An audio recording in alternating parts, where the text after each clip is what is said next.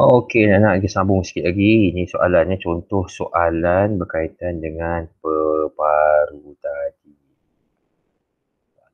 Okey. Okey.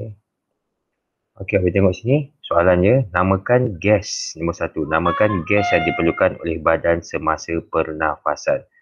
Gas apa yang kita perlukan anak-anak semasa pernafasan ni? Okey. Uh, cuba jawab. Jawapannya adalah gas oksigen eh? Oksigen. Okey sekejap ya jawapannya adalah gas oksi oksigen. Kemudian nombor dua namakan gas yang dibuang daripada badan semasa menghembus nafas. Ah ha, nombor dua kejap saya tunjuk awak. Nombor satu tadi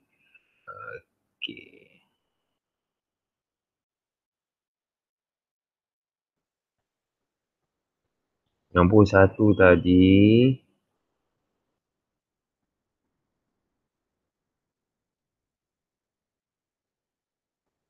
Nombor satu tadi jawapannya adalah oksigen. Okey, oksigen.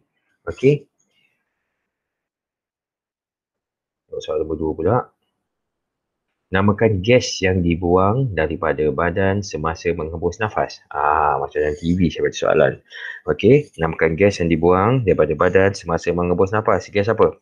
Kalau masuk tadi, yang atas tadi oksigen. Yang hembus tadi apa?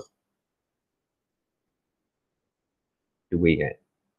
Okey, yang hembus adalah karbon dioksida. Cuba sebut karbon dioksida karbon dioksida. Okey, itu yang kita buang dari badan kita. Okey. Okey, mari kita sama tiga. Berikan tiga organ pernafasan manusia. Ah, kan dah saya kata senang saja so, uh, tajuk ni. Berikan tiga organ pernafasan manusia. Dah banyak kali saya ulang tadi. Ah, jadi tiga organ pernafasan manusia. Tiga organ pernafasan manusia. Okey, kita ada tiga yang nama A, B, C. Mari tengok. Kalau A, apa dia? Mulut. Eh sorry, sorry. Hidung, okey. Yang kedua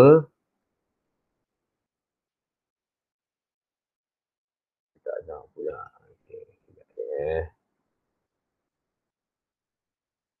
Pertama hidung, yang kedua trakia. Yang ketiga akhir sekali apa dia? Paru bagus ataupun paru paru. Okey. Okey. Soalan nombor empat. Label rajah di bawah. Okey. Bila soalan-soalan tu suruh, le- suruh label rajah di bawah. Maksudnya awak kena label lah. Ha, setiap yang ditunjuk tu apa benda. Okey. Apa yang ditunjuk tu awak kena tahu kan. Okey. Kena bagi tahu dia. Okey. Yang A ni apa? Takkan mulut kan. Kalau siapa ada mulut kat sini kita pun takut. Okey. Yang A ni hidung. B ni apa? Bagus. Paru-paru. C tu apa? Trachea. Okey, bagus. Okey, next. Nyatakan laluan gas oksigen semasa menarik nafas. Ha, ini pun sama. Nyatakan laluan gas oksigen semasa manusia menarik nafas. Okey, nombor lima eh.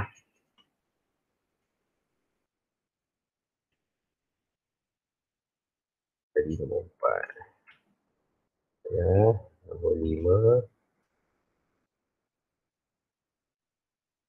menerima laluan oksigen ya, semasa menarik nafas. Laluan oksigen masa menarik nafas. Laluan dia adalah Bismillah, laluan dia mestilah mula-mula saya tarik nafas masuk ikut hidung. Eh, kemudian dia pergi ke trakea kemudian dia pergi ke paru-paru bagus anak-anak seterusnya Okay, cepat sikit ya. Kalau video panjang susah nak download. Hantarkan laluan gas karbon dioksida semasa manusia mengembus nafas. Nombor enam. Masa menghembus nafas, kita kan terbalik kan. Tarik, kalau masa tarik nafas, kita mula pada hidung. Kalau menghembus, tak pernah ingat. Dia mula daripada Ya, bagus. Peparu. Peparu. Menghala ke trachea. Ingat, trachea tu siasa di tengah-tengah. Kan? Kau jangan pandai-pandai trachea tu dekat mula-mula. Jaga korang. Okay? Dan hari sekali dia hembus ikut keluar ikut hidung. Hidung mula. Hidung tu orang lain ke hidung. Okey. Okey. Trachea, eh paru-paru, trachea, hidung. Okey anak-anak. Okey Okey, seterusnya namakan saluran yang menghembuskan hidung, menghubungkan. Namakan saluran yang menghubungkan hidung dengan paru-paru. Ini senang, boleh jawab ya. Apa dia? Ya, nombor tujuh. Saluran yang menghubungkan hidung dengan paru-paru adalah trakea. Bagus. Seterusnya. Tandakan tik pada pernyataan yang betul semasa menarik nafas. Okey masa ingat saya baca soal tandakan tik pada pernyataan yang betul semasa menarik nafas. Semua tarik nafas sekarang. Okey, oksigen masuk. Betul salah? Betul, tandakan tik.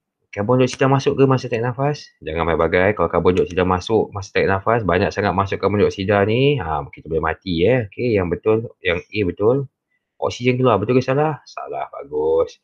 Karbon dioksida keluar. Betul ke salah? Masa naik nafas? Ha.